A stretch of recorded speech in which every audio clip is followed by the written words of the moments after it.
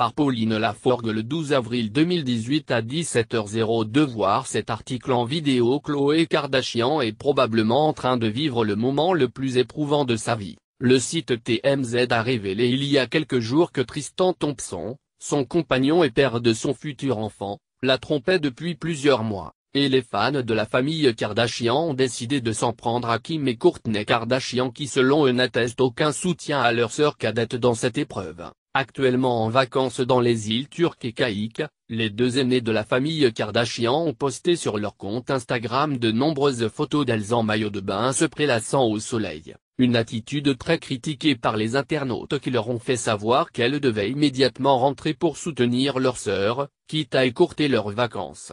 Des critiques qui ont poussé Kim Kardashian à supprimer de nombreux clichés de ses vacances comme le rapporte le Daily Mail. Et si Kim Kardashian a cédé sous la pression des internautes, ce n'est pas le cas de Kourtney qui n'en a supprimé aucune. Mauvais timing donc pour les sœurs Kardashian. Une source a cependant révélé à TMZ que Kim et Kourtney devaient rejoindre Chloé dès ce vendredi, tandis que Jenner, sa mère, est déjà à ses côtés. Il va vivement regretter d'avoir fait cela à Chloé car la famille Kardashian tout entière a fait savoir sa colère envers Tristan Thompson et son attitude envers Chloé Kardashian. La famille est furieuse, Tristan n'est pas la personne qu'il pensait être. Leur inquiétude principale se porte sur Chloé et l'enfant pour l'instant, ils s'occuperont de Tristan après.